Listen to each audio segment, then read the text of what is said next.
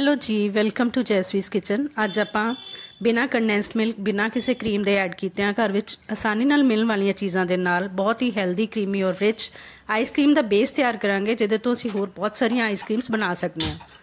I believe in homemade food is always good because it is hygienic, healthy, fresh and nutritious. ਤੇ ਚਲੋ ਫਿਰ ਸ਼ੁਰੂ ਕਰ base ਤਿਆਰ ਕਰਨ ਵਾਸਤੇ ਬੇਰਕਾ ਦਾ ਫੁੱਲ ਫੈਟ ਮਿਲਕ ਲਿਆ ਹੈ। ਤੁਸੀਂ ਵੀ ਫੁੱਲ ਫੈਟ ਹੀ ਲੈਣਾ ਤੁਹਾਡੇ ਨੇੜੇ ਜੋ ਵੀ ਬ੍ਰਾਂਡ ਮਿਲਦਾ ਹੈ। ਇਹ ਦੁੱਧ ਵਾਲੇ ਪੈਕੇਟ ਦੇ ਉੱਪਰ ਦੇਖੋ ਜੀ ਮੈਂਸ਼ਨ ਵੀ ਕੀਤਾ ਹੋਇਆ ਹੈ ਕਿ ਫੈਟ 6% ਹੈ ਇਹਦੇ ਵਿੱਚ। ਗੈਸ ਔਨ ਕਰਕੇ ਮੈਂ ਇੱਕ ਪੈਨ ਦੇ ਵਿੱਚ 2 ਚਮਚ ਪਹਿਲਾਂ ਪਾਣੀ ਪਾ ਦਿੱਤਾ ਸੀ ਤੇ ਫਿਰ ਹੁਣ ਆਪਾਂ ਦੁੱਧ ਵੀ ਐਡ ਕਰ ਲਵਾਂਗੇ। ਦੁੱਧ ਪਾਉਣ ਤੋਂ ਪਹਿਲਾਂ ਆਪਾਂ ਥੋੜਾ ਜਿਹਾ ਪਾਣੀ ਇਸ ਕਰਕੇ ਐਡ ਕਰਦੇ ਹਾਂ ਤਾਂ ਕਿ ਤਲੇ ਤੇ ਦੁੱਧ ਚਿਪਕੇ ਨਾ ਤੇ ਸੜੇ ਨਾ। 1 ਕਿਲੋ ਦੁੱਧ ਵਿੱਚੋਂ ਆਪਾਂ ਅੱਧਾ ਕੁ ਕੱਪ ਦੁੱਧ ਬਚਾ ਲਿਆ ਹੈ, ਜਿਹੜਾ ਆਪਾਂ ਬਾਅਦ ਵਿੱਚ ਇਸਤੇਮਾਲ ਕਰਾਂਗੇ। ਬਾਕੀ ਆਪਾਂ ਦੁੱਧ ਨੂੰ ਉਬਲਣਾ ਰੱਖ ਦਿੱਤਾ ਸੀ ਦੁੱਧ ਉਬਲ ਗਿਆ ਹੈ ਆਪਾਂ ਮਲਾਈ ਵੀ ਸਕ੍ਰੇਪ ਕਰ ਕਰਕੇ ਵਿੱਚ 5 ਮਿੰਟ ਤੱਕ ਆਪਾਂ ਇਹਨੂੰ ਬੋਇਲ ਕਰਾਂਗੇ ਵਿੱਚ ਵਿੱਚ ਸਟਰ ਜ਼ਰੂਰ ਕਰਦੇ ਰਵਾਂਗੇ ਤਾਂ ਕਿ ਨੀਚੇ ਨਾ ਲੱਗੇ। ਖੁੱਲੇ ਬਰਤਨ 'ਚ ਜਦੋਂ ਆਪਾਂ ਬੋਇਲ ਕਰਦੇ ਹਾਂ ਤਾਂ ਬਹੁਤ ਜਲਦੀ ਦੁੱਧ ਸੁੱਕ ਜਾਂਦਾ ਹੈ ਮਤਲਬ ਗਾੜਾ ਹੋ ਜਾਂਦਾ ਹੈ। ਤੇ ਆਪਾਂ ਇਹਨੂੰ ਮੀਡੀਅਮ ਹਾਈ ਫਲੇਮ ਤੇ ਉਬਾਲਾਂਗੇ।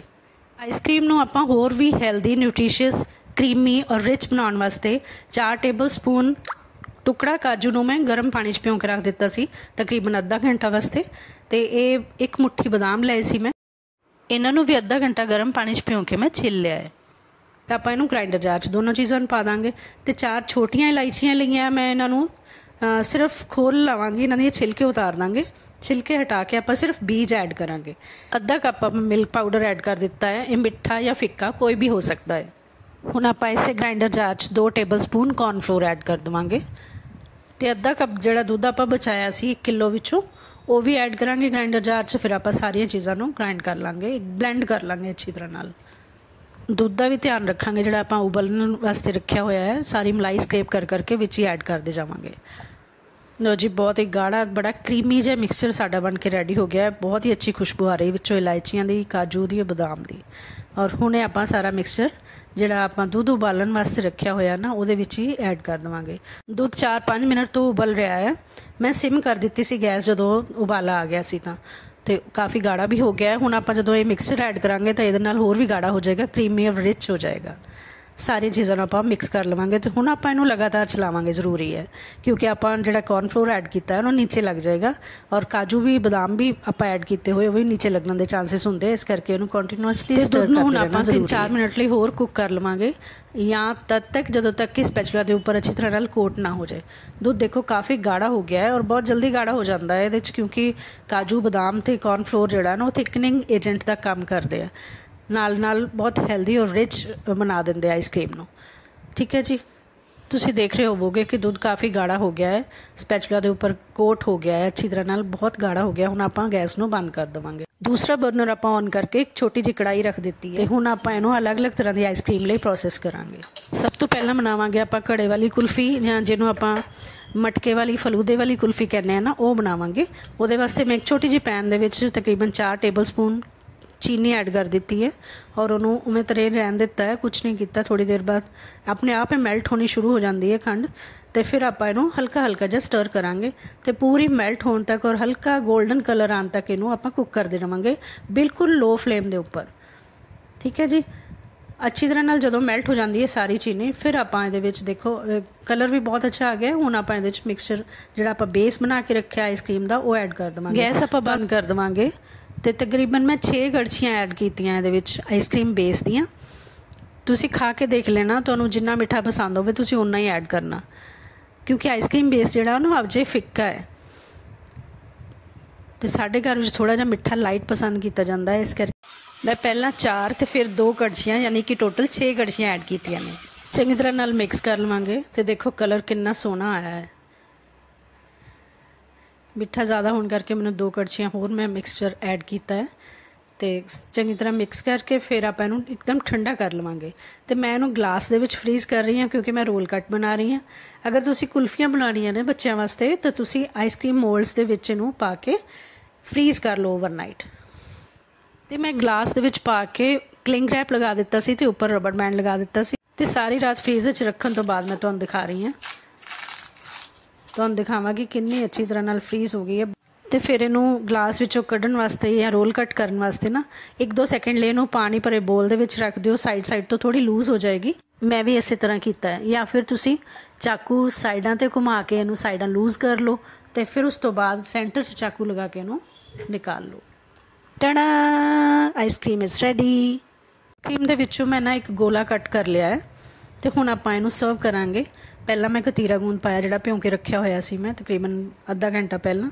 ਚੀਆ ਸੀਡਸ ਵੀ ਭਿਉਂ ਦਿੱਤੇ ਸੀ। ਥੋੜਾ ਕਤੀਰਾ ਗੂੰਦ ਪਾਇਆ, ਫਿਰ ਚੀਆ ਸੀਡਸ ਪਾਵਾਂਗੇ। ਚੀਆ ਸੀਡਸ ਬਹੁਤ ਹੀ ਹੈਲਦੀ ਹੁੰਦੇ ਆ, ਗਰਮੀਆਂ 'ਚ ਖਾਣੇ ਬਹੁਤ ਠੰਡਕ ਦਿੰਦੇ ਆ। ਕਤੀਰਾ ਗੂੰਦ ਵੀ ਬਹੁਤ ਠੰਡਕ ਦਿੰਦਾ ਹੈ। ਜ਼ਰੂਰ ਜ਼ਰੂਰ ਇਸਤੇਮਾਲ ਕਰੋ ਗਰਮੀਆਂ ਦੇ ਵਿੱਚ। ਤੇ ਹੁਣ ਮੈਂ ਥੋੜਾ ਜਿਹਾ ਫਲੂਦਾ ਪਾਇਆ ਹੈ।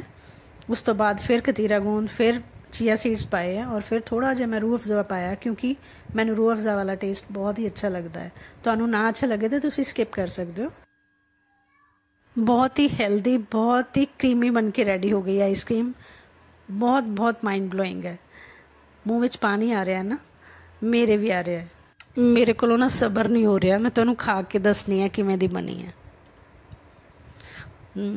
ਬਹੁਤ ਬਹੁਤ ਹੀ ਸਵਾਦ ਹੈ ਬਹੁਤ ਮਸਤ ਹੈ। ਬਾਜ਼ਾਰ ਨਾਲੋਂ ਕਿਤੇ ਜ਼ਿਆਦਾ ਸਵਾਦ ਹੈ ਔਰ ਬਹੁਤ ਹੈਲਦੀ ਵੀ ਹੈ। ਬਹੁਤ ਰਿਚ ਹੈ। ਤੁਸੀਂ ਨੋਟਿਸ ਕੀਤਾ ਹੋਣਾ ਹੈ ਕਿ ਮੈਂ ਅਜੇ ਤੱਕ ਮਿੱਠਾ ਨਹੀਂ ਸੀ ਪਾਇਆ ਜਿਹੜਾ ਆਪਾਂ ਬੇਸ ਬਣਾਇਆ ਸੀ। ਕਿਉਂਕਿ ਫਲੂਦਾ ਆਈਸਕ੍ਰੀਮ ਬਣਾਉਣ ਵਾਸਤੇ ਨਾ ਸਾਨੂੰ ਫਿੱਕਾ ਹੀ ਬੇਸ ਚਾਹੀਦਾ ਸੀ। ਕਿਉਂਕਿ ਆਪਾਂ ਕੈਰਮਲਾਈਜ਼ ਕਰਕੇ ਸ਼ੂਗਰ ਉਹਦੇ ਵਿੱਚ ਐਡ ਕਰਨੀ ਹੁੰਦੀ ਹੈ। ਤੇ ਹੁਣ ਆਪਾਂ ਜਿਹੜੇ ਬਾਕੀ ਦੀਆਂ ਆਈਸਕ੍ਰੀਮਸ ਬਣਾਵਾਂਗੇ ਨਾ ਉਹ ਸਾਨੂੰ ਮਿੱਠਾ ਬੇਸ ਚਾਹੀਦਾ ਹੈ। ਇਸ ਕਰਕੇ ਮੈਂ 5 ਟੇਬਲ ਸਪੂਨਸ ਯਾਨੀ ਕਿ 5 ਵੱਡੇ ਚਮਚ ਖੰਡ ਦੇ ਐਡ ਕਰ ਦਿੱਤੇ ਆ। ਤੁਸੀਂ ਚਾਹੋ ਤਾਂ ਮਿਸ਼ਰੀ ਵੀ ਐਡ ਕਰ ਸਕਦੇ ਹੋ। ਚੀਨੀ ਐਡ ਕਰ ਲੈਣ ਤੋਂ ਬਾਅਦ ਥੋੜਾ ਜਿਹਾ ਮਿਕਸਚਰ ਪਤਲਾ ਹੋ ਜਾਂਦਾ ਹੈ। ਇਸ ਕਰਕੇ ਆਪਾਂ 1 ਮਿੰਟ ਲਈ ਇਹਨੂੰ ਹੋਰ ਕੁੱਕ ਕਰ ਲਵਾਂਗੇ। ਫਿਰ ਆਪਾਂ ਇਹਨੂੰ ਤਿੰਨ ਪੋਰਸ਼ਨਸ 'ਚ ਡਿਵਾਈਡ ਕਰਾਂਗੇ। ਮੈਂ ਇਸ ਮਿਕਸਚਰ ਦੇ ਨਾਲ ਪੰਜ ਤਰ੍ਹਾਂ ਦੀ ਆਈਸਕ੍ਰੀਮ ਬਣਾਈ ਸੀ। ਪਰ ਇਸ ਵੀਡੀਓ ਦੇ ਵਿੱਚ ਮੈਂ ਤੁਹਾਨੂੰ ਤਿੰਨ ਤਰ੍ਹਾਂ ਦੀ ਹੀ ਦਿਖਾ ਰਹੀ ਹਾਂ ਕਿਉਂਕਿ ਵੀਡੀਓ ਕਾਫੀ ਲੰਬੀ ਹੋ ਜਾਂਦੀ। ਅਗਰ ਮੈਂ ਪੰਜ ਤਰ੍ਹਾਂ ਦੀ ਰੈਸਿਪੀਜ਼ ਇੱਕੋ ਵੀਡੀਓ 'ਚ ਦਿਖਾਉਂਦੀ ਤਾਂ। ਤੁਹਾਨੂੰ ਜਿਹੜੀ ਆਈਸਕ੍ਰੀਮ ਜ਼ਿਆਦਾ ਪਸੰਦ ਹੈ, ਉਹਦੇ ਵਾਸਤੇ ਤੁਸੀਂ ਇਹ ਬੇਸ ਜ਼ਿਆਦਾ ਕੱਢ ਸਕਦੇ ਹੋ। ਹੁਣ ਆਪਾਂ ਜਿਹੜੀ ਨੈਕਸਟ ਆਈਸਕ੍ਰੀਮ ਬਣਾਈ ਹੈ, ਉਹ ਹੈਗੀ ਅੰਜੀਰ ਆਈਸਕ੍ਰੀਮ ਐਕਚੁਅਲੀ ਮੈਂ ਬਾਜ਼ਾਰੋਂ ਲੈ ਕੇ ਆਈ ਸੀ। ਦੋ ਛੋਟੇ ਛੋਟੇ ਕੱਪ ਬਹੁਤ ਮਹਿੰਗੇ ਮਿਲੇ ਸੀ, ਲੇਕਿਨ ਬਹੁਤ ਅੱਛੀ ਲੱਗੀ ਸੀ ਮੈਨੂੰ। ਤੇ ਫਿਰ ਮੈਂ ਸੋਚਿਆ ਕਿਉਂ ਨਾ ਇਹਨੂੰ ਘਰੇ ਹੀ ਬਣਾਇਆ ਜਾਏ। ਬਹੁਤ ਕਿਫਾਇਤੀ ਵੀ ਰਹੇਗੀ ਔਰ ਬਹੁਤ ਟੇਸਟੀ ਬਣੇਗੀ। ਤੇ ਹੁਣ ਮੈਂ 6-7 ਅੰਜੀਰ ਇੱਕ ਘੰਟਾ ਪਹਿਲਾਂ ਪਾਣੀ 'ਚ ਭਿਉਂ ਕੇ ਰੱਖ ਦਿੱਤੇ ਸੀ ਔਰ ਇਹ ਪਾਣੀ ਸੁੱਟਣਾ ਨਾ, ਇਹਨੂੰ ਪਾਣੀ ਨੂੰ ਪੀ ਲੈਣਾ। ਇਹ ਅੰਮ੍ਰਿਤ ਹੈ। ਬਹੁਤ ਹੀ ਟੇਸਟੀ ਹੁੰਦਾ ਹੈ। ਤੇ ਦੇਖੋ ਜੀ, ਹੁਣ ਮਿਕਸਚਰ ਜਿਹੜਾ ਸੀ ਨਾ ਬੇਸ ਆਪਣਾ ਉਹ ਠੰਡਾ ਹੋ ਗਿਆ ਤੇ ਮੈਂ ਅੰਜੀਰ ਨੂੰ ਚੌਪ ਕਰ ਲਿਆ ਤੇ ਆਪਾਂ ਇਸੇ ਬੇਸ ਦੇ ਵਿੱਚ ਮੈਨੂੰ ਮਿਕਸ ਕਰ ਲਵਾਂਗੇ। ਤੁਸੀਂ ਚਾਹੋ ਤਾਂ ਬੇਸ ਨੂੰ ਪਹਿਲਾਂ ਬਲੈਂਡਰ 'ਚ ਪਾ ਕੇ ਬਲੈਂਡ ਵੀ ਕਰ ਸਕਦੇ ਹੋ, ਫਿਰ ਤੁਸੀਂ ਅੰਜੀਰ ਮਿਕਸ ਕਰਕੇ ਫ੍ਰੀਜ਼ ਕਰ ਲੈਣਾ। ਪਰ ਮੈਂ ਕੁਝ ਨਹੀਂ ਕੀਤਾ, ਮੈਂ ਐਵੇਂ ਹੀ ਮਿਕਸਚਰ ਸਾਰਾ ਤਿਆਰ ਕਰ ਲਿਆ ਤੇ ਉਹੀ ਕੰਟੇਨਰ ਜਿਹੜੇ ਮੈਂ ਬਾਜ਼ਾਰੋਂ ਖਰੀਦੇ ਸੀ ਨਾ, ਉਹਨਾਂ ਵਿੱਚ ਹੀ ਮੈਂ ਫਿਲ ਕਰ ਦਵਾਂਗੀ। ਫਿਰ 에ਅਰ ਬਬਲਸ ਰਿਲੀਜ਼ ਕਰਨ ਵਾਸਤੇ ਆਪਾਂ ਤਿੰਨ ਚਾਰ ਵਾਰੀ ਇਹਨੂੰ ਟੈਪ ਟੈਪ ਕਰ ਲਾਂਗੇ। ਅਗਰ ਅਸੀਂ ਇਸ ਤਰ੍ਹਾਂ ਨਹੀਂ ਕਰਾਂਗੇ ਨਾ, ਤਾਂ ਇਹੀ 에ਅਰ ਬਬਲਸ ਆਈਸ ਕ੍ਰਿਸਟਲਸ ਬਣ ਜਾਣਗੇ ਜੋ ਆਪਾਂ ਨਹੀਂ ਚਾਹਾਂਗੇ। ਫਿਰ ਆਪਾਂ ਕਲਿੰਗ ਰੈਪ ਲਗਾ ਦਿੱਤਾ ਹੈ ਤੇ ਬਸ ਇਹਨੂੰ ਕਵਰ ਕਰਕੇ ਫ੍ਰੀਜ਼ਰ 'ਚ ਓਵਰਨਾਈਟ ਛੋੜ ਦਾਂਗੇ। ਤੇ ਨੈਕਸਟ ਡੇ ਇੰਜੋਏ ਕਰਾਂਗੇ ਅੰਜੀਰ ਵਾਲੀ ਆਈਸਕ੍ਰੀਮ ਤੇ ਹੁਣ ਆਪਾਂ ਤੀਸਰੀ ਆਈਸਕ੍ਰੀਮ ਦੇਖ ਲੈਂਦੇ ਆ ਖੋਆ ਮਲਾਈ ਵਾਲੀ। ਹੈ ਨਾ ਜਿਹੜਾ ਆਪਾਂ ਆਈਸਕ੍ਰੀਮ ਦਾ ਬੇਸ ਤਿਆਰ ਕੀਤਾ ਸੀ ਨਾ, ਉਹਨੂੰ ਉਸੇ ਤਰ੍ਹਾਂ ਹੀ ਠੰਡਾ ਕਰਕੇ ਮੈਂ ਕੂਲਰ ਵਿੱਚ ਪਾ ਦਿੱਤਾ ਹੈ। ਇਹ ਬਣ ਗਈ ਸਾਡੀ ਕਾਜੂ ਬਦਾਮ ਵਾਲੀ ਯਾਨੀ ਕਿ ਖੋਆ ਮਲਾਈ ਵਾਲੀ ਆਈਸਕ੍ਰੀਮ ਬਹੁਤ ਹੀ ਟੇਸਟੀ ਬਹੁਤ ਹੀ ਰਿਚ ਬਸ ਉਹਦੇ ਉੱਪਰ ਕਲਿੰਗ ਰੈਪ ਲਗਾ ਕੇ ਇੱਕ ਰਬੜ ਬੈਂਡ ਲਗਾ ਦਿਓ ਬਸ ਇਹਨੂੰ ਓਵਰਨਾਈਟ ਫ੍ਰੀਜ਼ ਕਰ ਲਾਂਗੇ ਫਿਰ ਨੈਕਸਟ ਡੇ ਇੰਜੋਏ ਕਰਾਂਗੇ ਬਹੁਤ ਹੀ ਰਿਚ ਬਹੁਤ ਹੀ ਓਵਰਨਾਈਟ ਫ੍ਰੀਜ਼ ਹੋਣ ਤੋਂ ਬਾਅਦ ਮੈਂ ਤੁਹਾਨੂੰ ਦਿਖਾ ਰਹੀ ਹਾਂ ਆਈਸਕ੍ਰੀਮ ਬਹੁਤ ਹੀ ਅੱਛੀ ਤਰ੍ਹਾਂ ਨਾਲ ਸੈੱਟ ਹੋ ਗਈ ਹੈ ਤੇ ਤੁਹਾਨੂੰ ਇਹਦਾ ਟੈਕਸਚਰ ਦਿਖਾਣੀ ਹੈ ਕਿਵੇਂ ਦੇ ਬਣੀ ਹੈ ਬਹੁਤ ਹੀ ਰਿਚ ਹੈ ਬਹੁਤ ਹੀ ਕਰੀਮੀ ਹੈ ਤੇ ਇਹ ਤੁਹਾਨੂੰ ਅੰਜੀਰ ਵਾਲੀ ਆਈਸਕ੍ਰੀਮ ਦਿਖਾ ਰਹੀ ਹਾਂ। ਇਹਦੇ ਹਰ ਬਾਈਟ 'ਚ ਤੁਹਾਨੂੰ ਅੰਜੀਰ ਦਾ ਟੇਸਟ ਆਏਗਾ, ਕਿਉਂਕਿ ਛੋਟੇ ਛੋਟੇ ਜਿਹੜੇ ਪੀਸਸ ਆਪਾਂ ਐਡ ਕੀਤੇ ਸੀ ਨਾ, ਬਹੁਤ ਹੀ ਅੱਛੇ ਲੱਗਦੇ ਆ, ਮੂੰਹ ਵਿੱਚ ਆਉਂਦੇ ਆ। ਨੈਕਸਟ ਵੀਡੀਓ ਵਿੱਚ ਮੈਂ ਤੁਹਾਨੂੰ ਇਸੇ ਬੇਸ ਨਾਲ ਦੋ ਹੋਰ ਆਈਸਕ੍ਰੀਮ ਰੈਸਿਪੀਜ਼ ਦੇਵਾਂਗੀ। ਤਦ ਤੱਕ ਤੇ ਤੁਸੀਂ ਮੈਨੂੰ ਕਮੈਂਟ ਸੈਕਸ਼ਨ 'ਚ ਆਪਣੀ ਫੀਡਬੈਕ ਜ਼ਰੂਰ ਦੇਣਾ ਕਿ ਕਿਵੇਂ ਦੀਆਂ ਤੁਹਾਨੂੰ ਇਹ recipe like share and subscribe my channel for tasty healthy nutritious easy quick interesting and exotic recipes